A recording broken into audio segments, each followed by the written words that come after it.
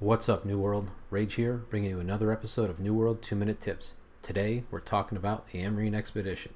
Before we do, I just want to thank everyone for the support and comments. Please keep them coming. It's been great, and I'm glad you're liking the videos.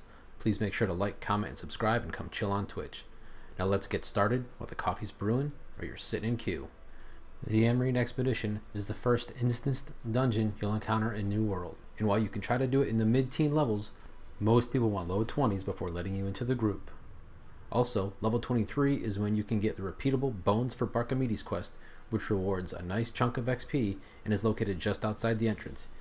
For this quest, you need to kill 5 Star Excavation Ravagers and loot the bones they drop, then turn in at the end. The dungeon has two bosses, Foreman Nakashima and Simon Gray. Foreman Nakashima has two main abilities to watch for.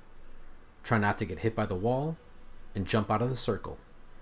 Both these abilities trigger fast, so be on your toes. Once you down him, keep pushing through the mobs until you get to the last boss. Simon Gray.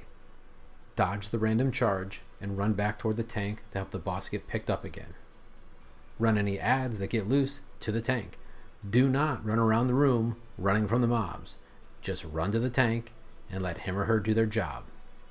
And don't forget, while you're running through the dungeon, there are numerous chests to be looted, lore books to be picked up, and resource nodes to be farmed. That's it for this episode of New World 2 Minute Tips. Thanks for the support. Leave a comment below. Tell me how you liked the dungeon. I thought it was pretty good overall.